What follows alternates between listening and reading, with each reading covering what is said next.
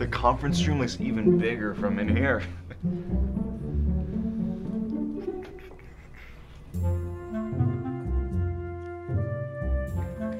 We could not believe that the big boss finally came around about social media marketing. I mean, really? The social team for one of these big marketing shindigs?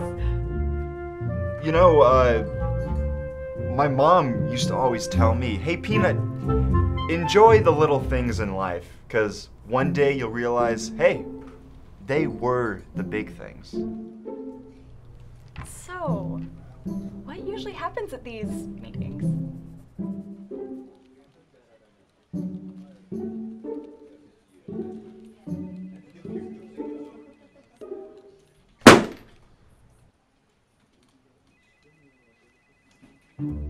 All right, marketing team. Last year was such an amazing year for this company.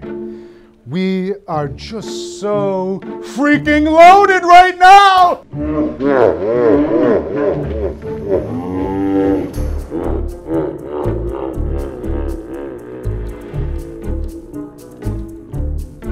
Boy, was that fun. Now, seriously, let's all just settle and get down to some real business. Who here has suggestions for this year's marketing budget? Anyone? Well, we were discussing earlier that since we're already spending $10,000 a month on paid keywords, why not double our spend to $20,000 a month? Double our keyword budget to $20,000 a month. Has our marketing department suddenly become spineless? If you're going to throw money at the wind, let's triple your doubling of our keyword spend to $60,000 a month. Can we waste this budget on non-relevant keywords that delivers absolutely no value to this company? Come on. Who are you talking to? Of course.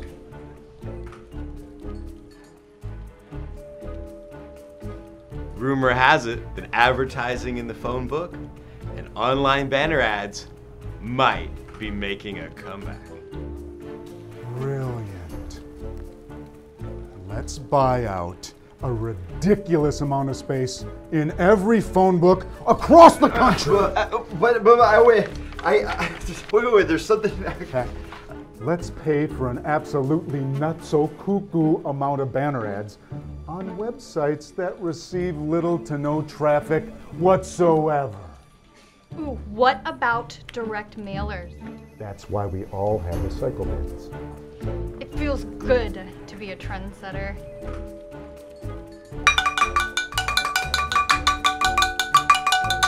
What about our brand story on social media?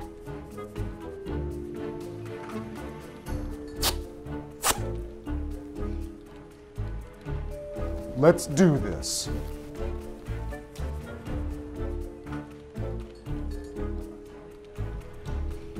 What about our social?